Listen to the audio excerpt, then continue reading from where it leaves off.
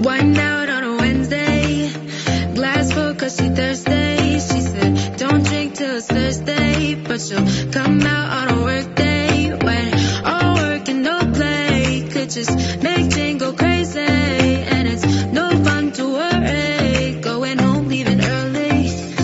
Then she run it up, back it up, when she know you feeling the work. Turn it up, just a touch, give it love so she fucked it up, leaning up, even though she's still on the up. Leave you shook, turn your looks, make you never want to leave. Cause whether Monday, Tuesday, Wednesday, you know you can still be.